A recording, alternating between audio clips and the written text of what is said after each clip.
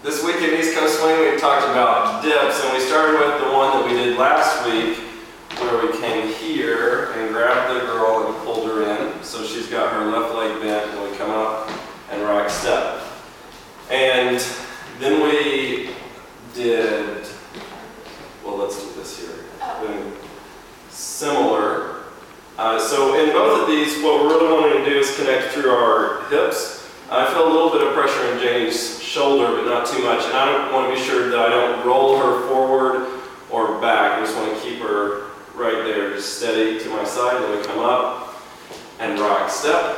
And then another one that's similar, do an inside girl's turn, slow, slow, slow, slow, rock step. So we'll do that from this side, where we hook underneath the girl's arm and pull her to our side. She's got her outside leg bent, we come up, rock step, and then we did two dips from closed position. The first one, we took the girl's hand over our shoulder and we dropped her down. Uh, we're supporting her like this, bent over our left leg.